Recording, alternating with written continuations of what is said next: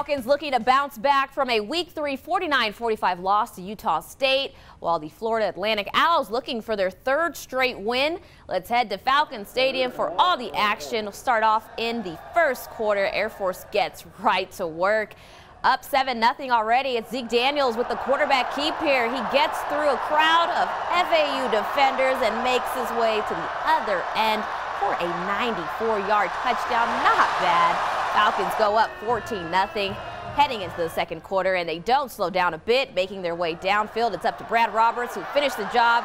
He does just that. Falcons now up 21 0 Defense, though, also looks pretty good tonight. Check out Jordan Jackson bringing down N'Kosi Perry, who the Falcons held to one touchdown in just 39 yards in two quarters. This recipe gives Air Force a 24-7 lead at the half, and they continue to stay on top for that 31-7 win keeping it